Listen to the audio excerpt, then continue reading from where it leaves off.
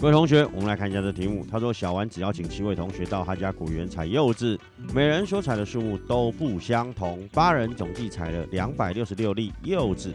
试问，采的最少的三位同学，他们的总数最多是多少粒？好，很多同学看了以后当场昏倒了。哈，这怎么算呢？用凑数字的，不知道怎么凑哎。哎，老师告诉各位同学，不用急，我们慢慢来想。首先，八人因为踩的数字要不一样，假设它接的很紧密，就分别设它是 A A 加一 A 加二，一直到 A 加七。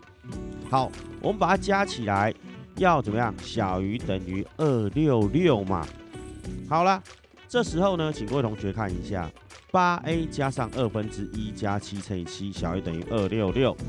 于是八 A 加二十八小于等于二六六，八 A 就小于等于二六六减二十八，那就会等于二三八。好，A 加小于等于八分之二三八，也是二十九又八分之六，约成最简分数二十九又四分之三。在这里，老师就顺便解释一下为什么用小于等于啦。各位同学，我们的柚子是什么？整数的耶。不可以，二十九又四分之三颗，怎么样？拿刀子偷偷挖了一部分，自己先吃了，然后剩下还给老板哦。不要这样，好不好？要卫生一点嘛，对不对？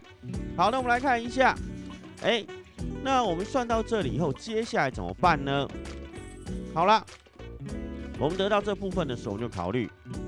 A 就用二十九又四分之三带进去，那就分别是二十九又四分之三、二十九又四分之三加一、二十九又四分之三加二，以此类推，到最后一个是二十九又四分之三加七。好，通通把它加进来后，得到二十九又四分之三、三十又四分之三，以此类推，到最后是三十六又四分之三。最大的这四个，要不然这样好了，前面四个人都借他们四分之一，于是可以合成三十四、三十五、三十六、三十七。好了，都被借四分之一以后，剩下四分之二，不是二分之一就零点五吗？所以前面四个就分别是二十九点五、三十点五、三十一点五跟三十二点五。